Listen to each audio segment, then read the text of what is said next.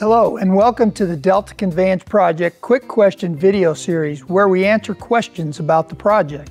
In part one of our look at the state-of-the-art fish screens that will be used at the new intakes, we discussed how the screens are designed to provide protection for fish.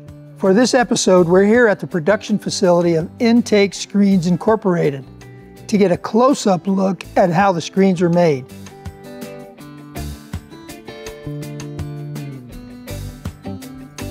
Uh, this is a retractable uh, T-screen.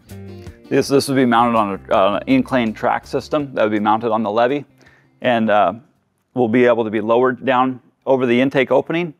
And so then water will flow through the screen material and then into the intake opening. And then uh, the fish and debris will just naturally float down the river.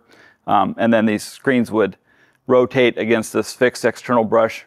Uh, these screens have an internal brush as well just to keep any freshwater mussels or sponges from growing on the inside. And then when they're not using the screen in the off season, they can pull it up and park it up at the top of the levee. Another advantage of our screen systems is that they're fully submerged during cleaning and greatly reduces any noise. This screen's five feet in diameter, about eight foot long cylinders, and the Delta conveyance screens would be eight foot in diameter uh, with 10 foot long cylinders. And then there's um, there would be 30 screens lined up on intake.